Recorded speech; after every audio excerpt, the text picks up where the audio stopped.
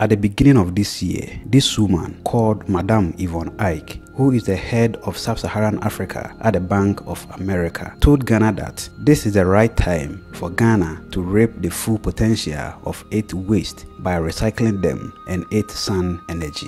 I think in terms of what we need to do differently, we need to actualize the regional approach to solving the world's problems today from Africa, for Africa, and for the world.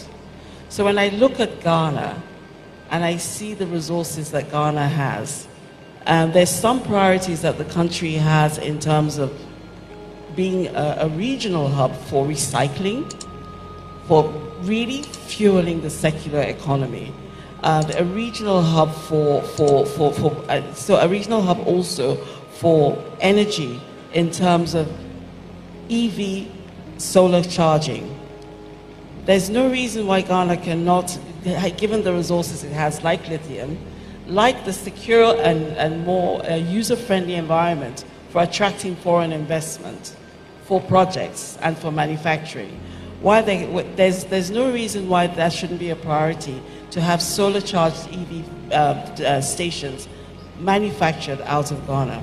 In a recent video of ours, we also talk about how Ghana sees becoming Africa's largest exporter of electricity. So, they are now in the race to harness renewable energy. In fact, the country is stepping up its game. With ambitious goals and significant investments, the country is aiming to transform its energy landscape and lead the way in sustainable development. The cornerstone of this transformation is a $17 million solar rooftop project at the Free Zone Enclave in Tema. They recently inaugurated it, and this project is Africa's largest solar rooftop installation, boosting a capacity of 16.8 megawatts at its peak. This project is being developed by a company called LMI Holdings Limited, and it is a significant step towards Ghana's renewable energy target. We are ushering in a new era of sustainable energy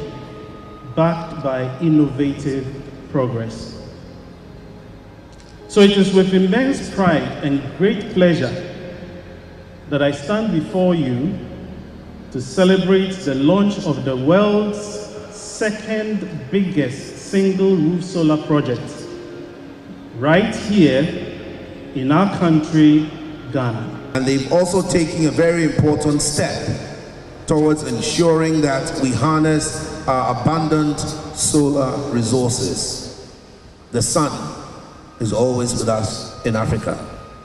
Together, we are not just constructing solar farms, we are constructing a sustainable future for our businesses the country plans to increase its renewable energy capacity from 42.5 megawatts in 2015 to an impressive 1,363 megawatts by 2030, with 1,094 megawatts coming from grid-connected systems. This and other renewable projects are going to help Ghana to generate over 3,000 megawatts, so they are taking substantial steps towards their goal of net zero emission by 2030. 60.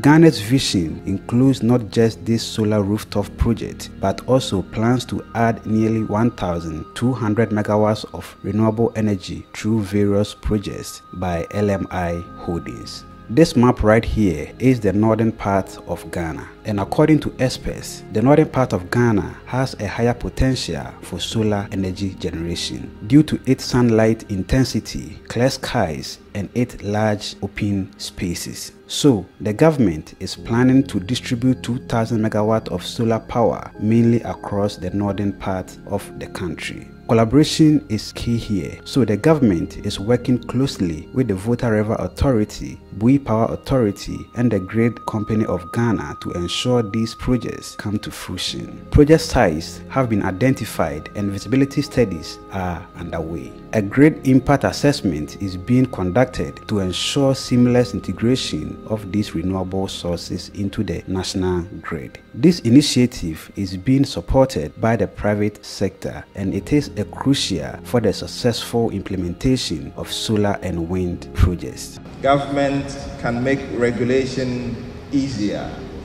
Government can provide some funding, but the biggest funding can must by all means come from the private sector. And this project signals a lead and tells the private sector the role that you have to play to support government in achieving the vision of 10% renewable energy sources in our mix by 2030. The solar rooftop project is expected to significantly reduce Ghana's emissions by approximately 10,000 tons of CO2 equivalent annually. So, what does this mean for the beautiful country Ghana? Well, the benefits are manifold. Increased renewable energy capacity will reduce reliance on fossil fuel, cut greenhouse gas emissions, and create jobs. The Tema project alone is part of a broader 30 million clean power and water investment that supports jobs creation and promotes greener, more sustainable industrial development.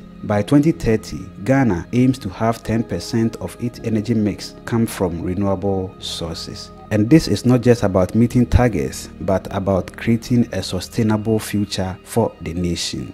I should also talk about the impact that this project has on industry. For someone who is coming from the Ministry of Trade and Industry, I, more than anyone, understand the impact of cost of power in industry, uh, in being competitive in manufacturing and in production. What you have done in helping to contribute to power distribution here in this enclave, and of course, uh, because solar over time has reduced um, costs in the mix, you are helping to power industry and you're helping industry to also meet their green credentials, something that puts them in the right stead globally in helping to attract more investment into their businesses. And of course, you're also helping to impact positively cost of production for these businesses, something that dovetails directly into job creation and helping to improve the standard of living of our people. And government is equally proud of you for that achievement. With the combined effort of the government, private sector, and international partners, Ghana is on its way to a greener and more prosperous future. Ghana's renewable energy journey is a testament to what can be achieved with vision, collaboration, and commitment. As the nation steps toward its goals, it sets another inspiring example for others to follow. And that is all for today's episode. Please let us know your thoughts and suggestions on this in the comment section below. My name is Sheriff Haruna. Have a joyful life and see you in our next video. Macrao.